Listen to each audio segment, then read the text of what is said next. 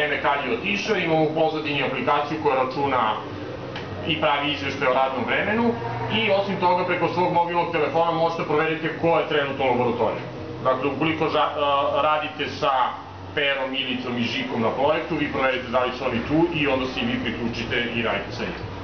I postoji gomila, dakle, ovde ostalih nekih zanimljivih projekata, trudimo se da, da smišljamo projekte koji zapravo imaju neku upotrebnu vrednost, a ne da se igramo sa světlýma, koje su pár rád přijde